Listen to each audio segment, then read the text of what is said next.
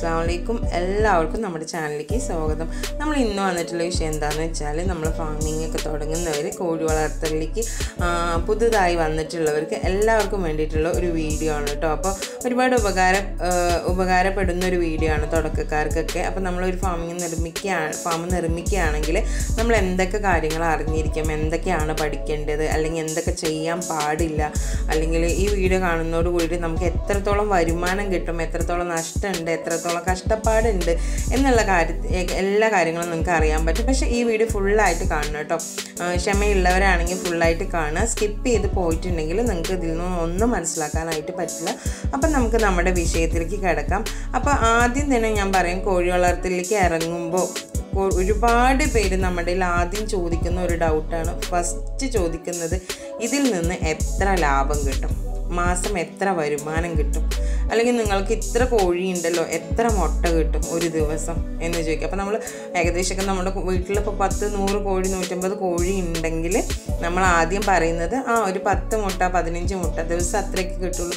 ഇത്ര കോഴി ഉണ്ടായിട്ട് അത്രേ കിട്ടുള്ളൂ. ആ എന്നാൽ പിന്നെ നമുക്ക് പിന്നെ കടയിൽ നിന്ന് മുട്ട വാങ്ങിച്ചാൽ പോരെ. ഇത്രയും ചിലവാക്കിയിട്ട് ഇത്ര അങ്ങനെയുള്ള ചിന്താഗതി ഉണ്ടെങ്കിൽ തന്നെ നമ്മൾ ഇതിലേക്ക് ഇറങ്ങിയിട്ടുണ്ടെങ്കിൽ വിജയിക്കില്ല. ആദ്യം തന്നെ ഒരു എന്താ പറയുക ഒരു കൊട്ട കണക്കിന് ലാഭവും വരുമാനവും തുടങ്ങി ഇപ്പോൾ ഒരു ലക്ഷം ചിലവാക്കിയിട്ടുണ്ടെങ്കിൽ പിറ്റത്തെ മാസം ആകുമ്പോഴത്തേന് രണ്ട് ലക്ഷം ഇതിൽ നിന്ന് മാറാമെന്ന് വിചാരിച്ചിട്ടൊന്നും ആരും വരരുത് സിനിമയല്ല. ഒരു പാട്ട് കഴിയുമ്പോഴത്തേക്കും നമ്മൾ വലിയ പണക്കാരാവാൻ. അപ്പോൾ ഒരുപാട് കഷ്ടപ്പാടുണ്ട് ഈ ഫാമിങ് ചെയ്യുമ്പോൾ. അപ്പോൾ അത് ഒരിക്കലും നിങ്ങളിതിനെക്കുറിച്ച് പഠിക്കുകയാണെങ്കിൽ ആദ്യം ഒരാളെടുത്തും പോയിട്ട് ഇതിൽ നിന്ന് എത്ര രൂപ ലാഭം കിട്ടും എന്ന് പറഞ്ഞിട്ട് ചോദിക്കരുത്. കാരണം എന്ന് വെച്ചാൽ അത് ആർക്കും പറഞ്ഞു തരുന്നവർക്ക് ഒട്ടും തന്നെ ഇഷ്ടാവില്ല. നമ്മൾ കോഴികളെ കുറിച്ച് ചോദിക്കാതെ ആദ്യം ലാഭത്തിനെ കുറിച്ച് ചോദിക്കുമ്പോൾ അപ്പോൾ നമ്മൾ ഈ ഒരു കാര്യം ചിന്തിക്കുക. പിന്നെ ഇതിലോട് ഇഷ്ടമുള്ളവർ മാത്രം ഇതിലേക്ക് ഇറങ്ങുക കേട്ടോ. ഫാമിങ് ഇഷ്ടമുള്ളവർ മാത്രം ഇറങ്ങുക. രണ്ടാമത്തെ കാര്യം എന്താണെന്ന് വെച്ചാൽ നമ്മളിപ്പോൾ കോഴിയാണ് ചെയ്യാൻ ആഗ്രഹിക്കുന്നതെങ്കിൽ കോഴിനെ കുറിച്ചിട്ട് നന്നായിട്ട് പഠിക്കുക. കാരണം ഏതൊക്കെ തരത്തിലുള്ള കോഴിയുണ്ട് ഏതൊക്കെ ഇനം കോഴിയുണ്ടെന്നും നമ്മൾ ഏത് കോഴി വാങ്ങിക്കുന്നതും എന്നൊക്കെ നമ്മൾ നന്നായിട്ട് പഠിക്കുക. അതുപോലെ കോഴി വളർത്തുന്നതിനെ കുറിച്ചിട്ട് ഒരുപാട് ക്ലാസ്സുകൾ എടുക്കുന്നുണ്ട്. അപ്പോൾ നമ്മൾ പഞ്ചായത്തിലൊക്കെ പോയി പറയുകയാണെങ്കിൽ അവർ ഓരോ ഭാഗത്ത് ക്ലാസ് എടുക്കുന്നുണ്ടെങ്കിൽ അവർ നമ്മളെ അറിയിക്കും. നമുക്ക് അവിടെ പോയി ക്ലാസ് അറ്റൻഡ് ചെയ്യാം. ഇനിയിപ്പോൾ നിർബന്ധമാണ് എന്നൊന്നുമില്ല. നമ്മൾക്ക് ഏതെങ്കിലും ഫാം സന്ദർശിക്കുകയാണെങ്കിൽ അവരോട് ചോദിച്ചിട്ട് നമുക്ക് മനസ്സിലാക്കാം. നമ്മൾ പെട്ടെന്ന് തന്നെ ഇന്ന് ഇപ്പോൾ നമ്മൾ ഫാമിങ് ചെയ്യാൻ വിചാരിക്കണം നമ്മൾ കോഴി വളർത്തലിലേക്ക് ഇറങ്ങാം. നമ്മൾക്ക് ഇനി അതൊരു ബിസിനസ്സായിട്ട് കൊണ്ടുപോകാമെന്ന് വിചാരിച്ചിട്ട് ഈ ആഴ്ച തന്നെ വിചാരിക്കുന്നു. അടുത്ത ആഴ്ച നമ്മൾ ചെയ്യുകയാണെങ്കിൽ നമുക്ക് വിചാരിച്ചതുപോലെ ലാഭം കിട്ടില്ല. കാരണം എന്താണെന്ന് വെച്ചാൽ നമ്മൾ നല്ലതുപോലെ അതിനെക്കുറിച്ച് അറിഞ്ഞാൽ മാത്രം തന്നെ നമുക്ക് അതിൽ വിജയിക്കാനായിട്ട് പറ്റുള്ളൂ. അപ്പോൾ നമ്മൾ ഇതുപോലെ ഗവൺമെന്റിന്റെ ആയാലും പഞ്ചായത്തുകളിൽ നിന്നും ഇതുപോലെ ക്ലാസ്സുകൾ എടുത്തു കൊടുക്കുന്നുണ്ടാവും. അവിടെ പോയിട്ട് നമുക്ക് പഠിക്കാൻ അല്ലെങ്കിൽ ഒരുപാട് ഗ്രൂപ്പുകളുണ്ട്. ആക്റ്റീവായിട്ടുള്ള കുറേ ഗ്രൂപ്പുകളുണ്ട്.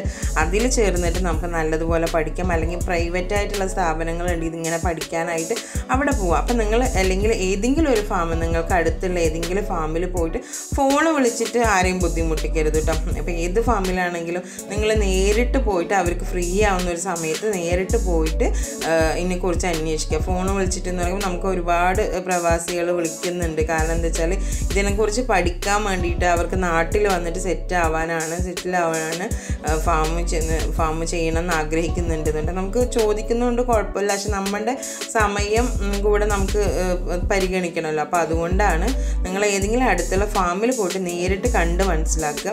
അപ്പോൾ അതൊരു കാര്യം. പിന്നെ നമ്മൾ അറിഞ്ഞിരിക്കേണ്ട കാര്യം എന്താണെന്ന് വെച്ചാൽ നമ്മുടെ നാട്ടിൽ അല്ലെങ്കിൽ നമ്മൾ മാർക്കറ്റ് ചെയ്യുന്നവിടെ ഏത് കോഴിയാണ് നമുക്ക് മാർക്കറ്റ് ചെയ്യാൻ പറ്റുക സെയിൽ ചെയ്യാൻ പറ്റുക എന്നുള്ള കാര്യം നമ്മൾ അറിഞ്ഞിരിക്കണം. അല്ലാതെ ഇപ്പോൾ ഒരാൾ പറയുകയാണ് കരിങ്കോഴി നല്ലതാണ് നീക്കിട നീക്ക് നല്ലതാണ് ഫാൻസി കോഴി നല്ലതാണ് എന്നൊക്കെ പറയുമ്പോഴത്തേക്കും ചാടി വീണ് ആ കോഴി വാങ്ങിച്ച് കുറേ കോഴി വാങ്ങിച്ച് കൂട്ടി ലാസ്റ്റ് അവസാനം നമുക്കത് വിൽക്കാൻ പറ്റാത്തൊരവസ്ഥയിലേക്ക് എത്തരുത്. നമുക്ക് ആദ്യം തന്നെ നമ്മൾ നമ്മളൊരു ബിസിനസ് തുടങ്ങുമ്പോൾ ഇത് എവിടെ സെയിൽ ചെയ്യാം? എങ്ങനെയാണ് നമ്മൾ മാർക്കറ്റ് ചെയ്യുക എന്നുള്ളത് ആദ്യം തന്നെ അറിഞ്ഞു വെക്കണം. എങ്ങനെയൊക്കെ ഇപ്പോൾ ഞാനിപ്പോൾ യൂട്യൂബ് വഴി ചെയ്യുന്നുണ്ട്. അതുപോലെ തന്നെ ഇക്കാടെ ഗ്രൂപ്പ് വഴി ചെയ്യുന്നുണ്ട്. പിന്നെ നമ്മളെ നാട്ടിൽ അത്യാവശ്യം നമ്മൾ നാട്ടിൽ കൊടുക്കുന്നുണ്ട്. നമ്മൾ ചെയ്യുന്നത് നാടൻ കോഴിയാണ്. അപ്പോൾ നാടൻ കോഴി മസീൽ കോഴിയും ഇതുപോലെ മുള്ളൻ കോഴി കരിങ്കോഴി നെക്കിട് ഞെക്ക് എല്ലാം ഉണ്ട് കേട്ടോ. അപ്പോൾ അപ്പോൾ നമുക്ക് എന്താണ് നമ്മുടെ മാർക്കറ്റിംഗ് നമ്മുടെ നാട്ടിൽ എന്താണെന്ന് പോകുന്നത്? അല്ലെങ്കിൽ മാർക്കറ്റിംഗ് റേറ്റിംഗ് എല്ലാം അറിഞ്ഞു വെച്ചാൽ മാത്രം തന്നെ നമുക്കിതിൽ നല്ലതുപോലെ വിജയിക്കാനായിട്ട് കഴിയുള്ളൂ. പിന്നെ അറിയേണ്ട ഒരു കാര്യം എന്ന് വെച്ചാൽ നമ്മുടെ ഫാമിൽ നമ്മൾ ഒരു മുതലാളി മാത്രം ആവാൻ പാടില്ല. നമ്മൾ ഒരു മുതലാളിയും അതുപോലെ തന്നെ തൊഴിലാളിയും അതുപോലെ തന്നെ ഒരു ഡോക്ടറും കൂടെ ആയാൽ മാത്രമാണ് നമ്മുടെ ഫാം നല്ലതുപോലെ മുന്നോട്ട് പോവുള്ളൂ. കാരണം എന്താണെന്ന് വെച്ചാൽ നമ്മൾ മുതലാളി ആയിട്ട് ഇരിക്കുകയാണെങ്കിൽ നമ്മുടെ ഇപ്പം നമ്മൾ ഫാം എന്ന് പറയുമ്പോൾ വളരെ ചെറുതാണ്. നമ്മുടെ വീട്ടിൽ ഒരു ഒന്നര രണ്ട് സെന്റ് സ്ഥലത്തിലാണ് നമ്മളത് ചെയ്തിരുന്നത്. പക്ഷെ എല്ലാവരും ഇതുപോലെ അല്ലായിരിക്കുമല്ലോ. കൂടുതൽ എമൗണ്ട് ഒക്കെ ചിലവാക്കി ഷെഡൊക്കെ കെട്ടിയിട്ട് ചെയ്യുന്നവരാണെങ്കിൽ നമ്മൾ മുതലാളിയായിട്ട് ഇരുന്ന് മറ്റ് തൊഴിലാളികളൊക്കെ വെച്ചിട്ട് പണിയെടുക്കുമ്പോൾ നമുക്ക് ഒരുപാട് നഷ്ടം വരും. നമുക്കതിനെക്കുറിച്ച് ഒന്നും അറിയില്ല. നമ്മൾ കാശ് മാത്രം മുടക്കുമ്പോൾ ഒരുപാട് നഷ്ടം വരും. അപ്പോൾ നമ്മൾ അതിൽ നമ്മൾ തൊഴിലാളിയായിട്ട് നിൽക്കണം മുതലാളിയായിട്ട് മാർക്കറ്റ് ചെയ്യുമ്പോൾ നമ്മൾ സെയിൽ ചെയ്യുന്ന സമയത്ത് മുതലാളിയാവണം കോഴിയുടെ കാര്യങ്ങൾ ചെയ്യുമ്പോൾ തൊഴിലാളിയാവണം. അതുപോലെ അവർക്ക് അസുഖങ്ങൾ വരുമ്പോൾ ഒരു നല്ലൊരു ഡോക്ടറായി അവരെ ഒരു അറപ്പും ഇല്ലാതെ അവർക്ക് എല്ലാ ട്രീറ്റ്മെന്റും എടുക്കുന്ന ഒരു പാകത്തിലേക്ക് നമ്മുടെ മനസ്സും എല്ലാം നമ്മൾ കൊണ്ട് നടക്കണം. കാരണം എന്താ വെച്ചാൽ ഒരു ജലദോഷമോ അല്ലെങ്കിൽ പിന്നെ കാൽ തളർച്ച എന്തെങ്കിലും ഒരു അസുഖം വന്നു കഴിഞ്ഞാൽ ഒരു ദിവസം കൊണ്ടൊന്നും മാറില്ല. കാരണം നമ്മളൊരു മനുഷ്യന് പോലും ഒരു ഡോക്ടർ മരുന്ന് കുറിച്ച് തരുന്നത് മൂന്ന് ദിവസം കഴിക്കാനും അത് കഴിഞ്ഞിട്ട് കുറവില്ലെങ്കിൽ നമ്മളോട് വരാനും അല്ലേ പറയുന്നത്. അപ്പം അതേപോലെ തന്നെ ഒരു ജീവനുള്ള ഒരു ഇതല്ലേ? അപ്പം ജീവനുള്ളതല്ല? അപ്പം നമ്മൾ അതിനും ഇതുപോലെ മൂന്ന് നേരം മൂന്ന് ദിവസമൊക്കെ കൊടുത്താൽ തന്നെ മാറുള്ളൂ പിന്നെ ഒരുപാട് ആളുകൾക്ക് തുടക്കക്കാർക്ക് ഒട്ടും തന്നെ ക്ഷമയില്ലാത്ത ആളുകളാണ് കാരണം നമ്മൾ കാൽ തളർച്ചയ്ക്കൊക്കെ മരുന്ന് പറഞ്ഞു കൊടുത്തിട്ടുണ്ടെങ്കിൽ പിറ്റേ ദിവസം നേരം വിളിക്കുമ്പോഴത്തേക്കും വിളിച്ചിട്ട് യാതൊരു കുറവുമില്ല എന്ന് പറയുന്ന ആൾക്കാരുണ്ട്. ഒരിക്കലും പെട്ടെന്ന് തന്നെ ഒരു അസുഖം മാറില്ല ഒരു വാക്സിനോ ഒരു മരുന്നും കൊടുക്കാതെ ഒന്നും നമുക്ക് കോഴി വളർത്തിയെടുക്കാനായിട്ട് കഴിയില്ല. അപ്പോൾ ഈ ഒരു കാര്യം നമ്മൾ ശ്രദ്ധിക്കണം. അടുത്തതായിട്ട് നമ്മൾ ഫാം നിർമ്മിക്കുന്നവർ കടം വാങ്ങിച്ചിട്ട് ചെയ്യാതിരിക്കുക. ഒരുപാട് കടം വാങ്ങിച്ച് വലിയ തോതിലൊക്കെ ഷെഡൊക്കെ ഇറക്കിയിട്ട് ചെയ്യുന്നത് നമുക്ക് നഷ്ടത്തിൽ കൊണ്ടെത്തിക്കും.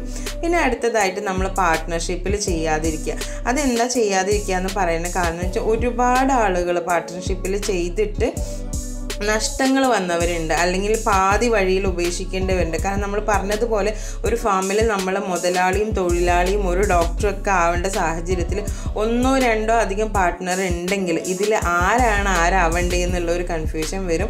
പിന്നെ കുറച്ച് പേര് ജോലി എടുക്കാനും കുറച്ച് പേര് മുതലാളിയായിട്ട് ഇരിക്കാനും ഉണ്ടാവും. അത് വളരെ ചുരുക്കത്തിൽ മാത്രമാണ് വിജയിച്ചിട്ടുള്ളത്. മാക്സിമം നിങ്ങൾ അറി നമുക്ക് അറിഞ്ഞിടത്തോളം ഈ പാർട്ട്ണർഷിപ്പിൽ ചെയ്തവരൊക്കെ കച്ചറയായിട്ടും അല്ലെങ്കിൽ പൊളിഞ്ഞിട്ടും അല്ലെങ്കിൽ പാതി പാതി വഴിയിൽ ഉപേക്ഷിച്ചിട്ട് പോകുന്ന ആളുകളാണ്. അപ്പം മാക്സിമം നിങ്ങൾ എന്ത് ചെയ്യുക?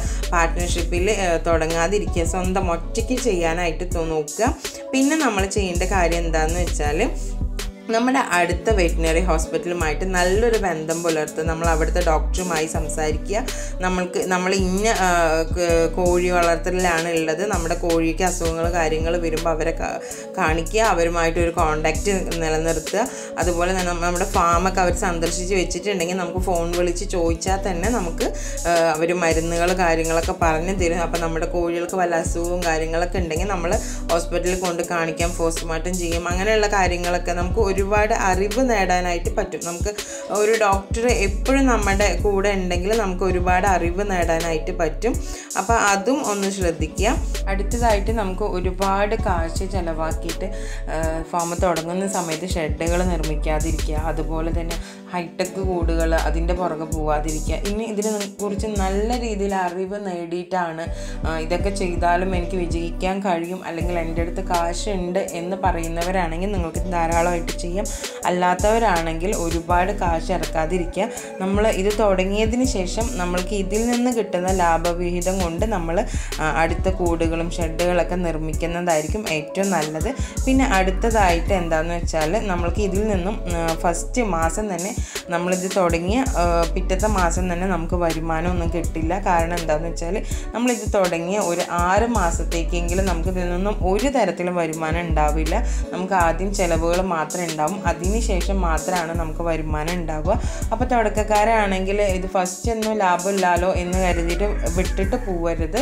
കാരണം നമ്മളിവിടെ ഏഴ് കോഴിയിൽ നിന്നും തുടങ്ങിയിട്ട് എഴുന്നൂറ് കോഴിയിൽ എത്തിച്ച ഇവരാണ് നമ്മൾ നല്ലതുപോലെയാണ് വിജയിച്ചിട്ടുള്ളത്. നമുക്ക് അലഹമ്മദില്ല നല്ല രീതിയിൽ ലാഭം ഉണ്ടായിട്ടുണ്ട്. അപ്പോൾ ആദ്യം തന്നെ ലാഭം പ്രതീക്ഷിക്കരുത് കേട്ടോ. നമുക്ക് ഒരു കുറച്ച് ഒരു വർഷമൊക്കെ പിടിക്കും നമ്മൾ ശരിക്കും ഇതൊന്ന് സെറ്റായിട്ട് വരാൻ പിന്നെ അടുത്തതായിട്ട് എന്താണെന്ന് വെച്ചാൽ നമ്മൾ ഒരു ജോലി ഉണ്ടെങ്കിൽ അത് കളഞ്ഞുകൊണ്ട് നമ്മൾ ഇതിലേക്ക് വരരുത്. നമ്മളൊരു പാർട്ട് ടൈം ജോബായിട്ട് ഇത് കണക്കാക്കുക.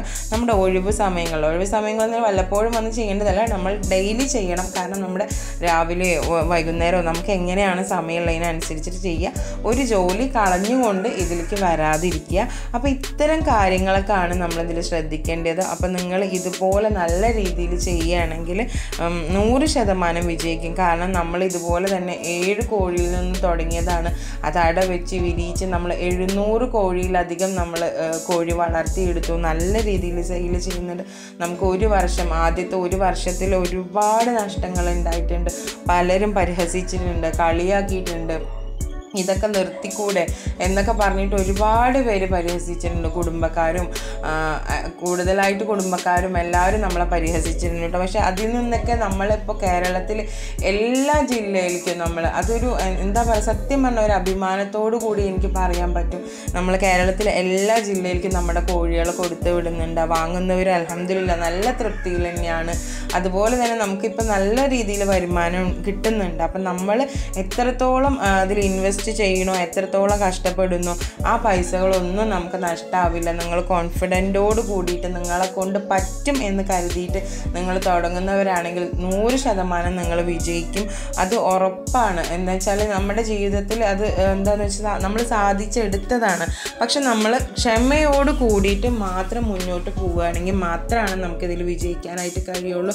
നമ്മൾ നല്ല രീതിയിൽ ഇപ്പോൾ സെയിൽ ചെയ്യുന്നുണ്ട്. അതുപോലെ അസുഖവും കാര്യങ്ങളൊക്കെ നോക്കാൻ നിങ്ങൾക്കും അതുപോലെ നല്ല രീതിയിൽ സെയിൽ ചെയ്യാനും പറ്റും. അപ്പോൾ തുടക്കക്കാരൊക്കെ ധൈര്യ ധൈര്യമായിട്ട് മുന്നോട്ട് പോവുക. എല്ലാവരെ കൊണ്ടും നല്ലതുപോലെ തുടങ്ങാനും അതുപോലെ തന്നെ നല്ലപോലെ കൊണ്ടുപോകാനും ഒക്കെ സാധിക്കട്ടെ എന്ന് ഞാൻ പ്രാർത്ഥിക്കുന്നു.